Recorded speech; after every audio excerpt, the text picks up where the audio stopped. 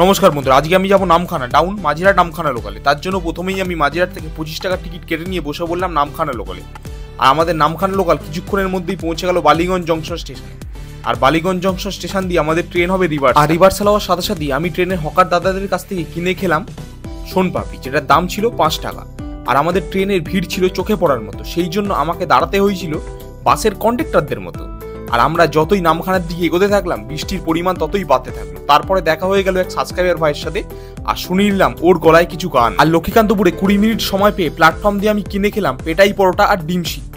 আর তারপরে আমার দেখা দেখি এই দাদারাও শুরু করে দিল ট্রেনের মধ্যে ভিডিওগ্রাফি আর দাদাদের কায়দা ছিল বেশ ইউনিক আর আমাদের ট্রেনের স্পিড এই লাইনে ছিল কিছুটা এই রকম আর এই স্পিডের সাথে সাথে আমরা পৌঁছে গেলাম কাকদ্বীপ স্টেশনে আর কাকদ্বীপ স্টেশনে হলো একটা ট্রেনের সাথে ক্রসিং যেহেতু এই লাইনটা সিঙ্গেল আর অবশেষে আমাদের ট্রেন তার স্টেশন নামখানাতে পৌঁছালো পাঁচ মিনিট। লেটে আর এখানেই শেষ করছি আজকে আমাদের মিনিট ব্লগ ভিডিওটা ভালো লাগলে ফলো সাবস্ক্রাইব দুটোই করে দেবেন। টাটা।